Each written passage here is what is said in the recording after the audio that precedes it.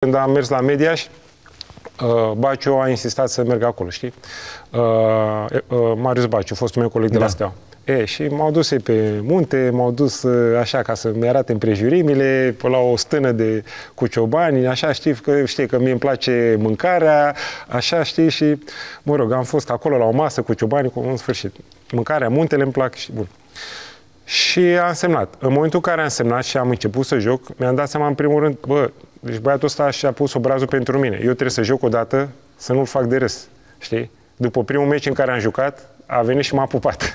Dacă, așa, și uh, deci tot timpul uh, m-am simțit uh, obligat și în al doilea rând am jucat uh, tot timpul cu pasiune. Banii n-au fost... Uh, N-ai niciodată. ieșit în evidență așa cu, nu știu, vreo mașină sau nu mi-aduc aminte să, să fi văzut vreo știre de genul ăsta, dar n-au fost momente Fac când, Audi. când ți-ai făcut și plăceri din asta, ai semnat un contract și ai zis, Ba băi, da. am bani, Ba hai da. să-mi iau ceva să îmi rămână. Ți-aduce aminte ce, adică sigur ți aduce aminte, uh, ce ți-ai cumpărat așa extravagant să îți faci o Mi-am plăcere? luat un uh, Audi A6. Așa, știi? Cât ai dat pe el? Nu știu, niște Zeci zeci, de de, mii. mii, niște zeci de mii, da? Așa, știi, de exemplu. După aia, Să mai spunem un lucru, tu jucai într-o perioadă și câștigai banii ăștia, într-o perioadă în care salariul în România era de 50 de dolari, 100 de dolari. E, nu erau banii de acum. și, dar nu sunt uh, așa împătimit, nu sunt uh, fan așa uh, lucruri extravagante, știi?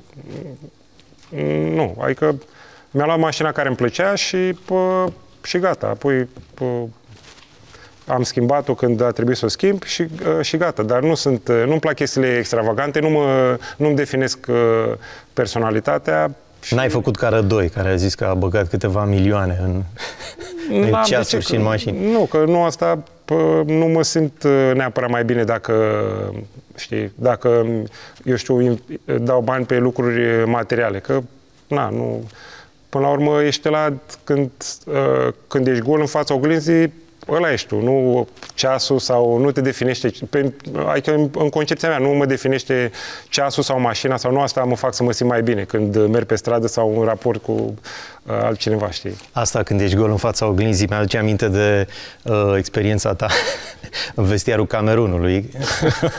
aduce adică aminte. acolo vezi că vorba asta când ești gol în fața oglinzii uh, poate avea niște conotații, nu? Da. Ai povestit că a fost uh, interesant momentul ăla. Da, nu, da, la ce m-am referit? Stați un pic, că voi o luați, deci nu-i glumesc, dați o conotație glumesc. sexuală. Deci mă refer așa.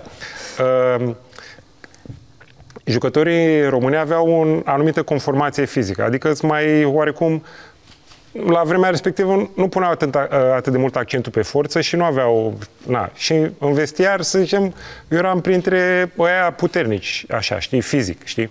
E, și când am mers acolo am văzut că toți erau foarte uh, lucrați, foarte, uh, aveau o constituție fizică foarte solidă. Erau cei mai buni dintre cei mai buni, erau campionii Africii și atunci genetic trebuia să fii foarte Am foarte înțeles, bun. păi vezi, uite, Și acum, atunci- acum ai, ai explicat de fapt ce ai vrut să zici, că s-a înțeles altceva. Păi dacă voi vă gândiți la chestii sexuale, e treaba voastră. Eu, da. Tu te referai la Mintea mea era mușchi, foarte- la da, constituție mușchi, la fizică. Constituție. Și atunci, uh, uh, pentru că eu aveam o părere bună despre mine uh, și am văzut că nivelul e mai ridicat, am început să mă antrenez și la următoarele cantonamente, când m-am dus, că a venit portarul de la uh, portarul lui spaniol, se uită la mine și spune, Gasam, ai lucrat, se vede că, știi, și m-am pus pe treabă. Adică nivelul era ridicat și forță, pregătire fizică cu uh, preparatorul fizic. Aveam un preparator fizic de la Bob, uh, fusese cu lotul olimpic a României la Olimpiada de la Salt Lake City, era frânar de ăsta forță mondială, așa, și a băgat în mine pregătire fizică de, uh, mă rog, febră muscular, uh, în fiecare săptămână făceam și Pițurcă nu știa că eu făceam antrenamente individuale separate, dar treaba asta m-a ajutat mult la, pe teren. M-a, m-a întărit foarte tare.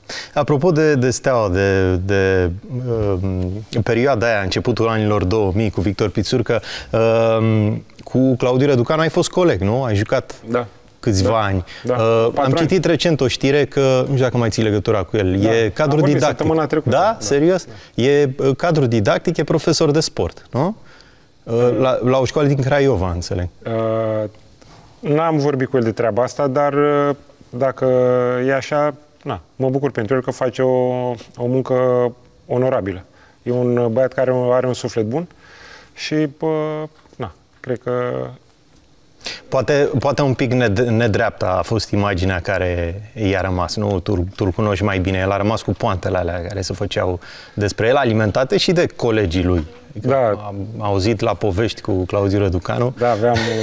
uh, Poți să grup- faci un, un serial de comedie. Aveam, aveam un grup de băieți care, cărora le plăcea foarte mult uh, mișto Caterinca și, normal, ne urmăream unul pe altul, făceam la un moment dat și clasamente, făceam locul întâi, loc, locul doi, așa, care, cum apărea unul cu o poantă, intra în top, așa, și, dar Claudiu era un tip uh, sufletist, uh, ajuta pe, pe toată lumea, era un, uh, era un bun coleg. Și cred că are substanță care uh, se transmite mai departe copiilor ca profesor. Cred că în felul ăsta s- se, se liniștește, într-un fel așa, găsește liniște. Cum e acum el? Că ai zis că ați vorbit la telefon. A depășit uh, Da, e problemele pe relaxat, care are o le-a avut? familie, are o fetiță, uh, s-a recăsătorit și are o fetiță, e uh, fericit și Mai vorbiți despre Steaua, despre FCSB când vă sunați? Mm, nu dăm așa să, mă, de, să depănăm așa prea multe amintiri, că nu suntem la vârsta bunicilor să...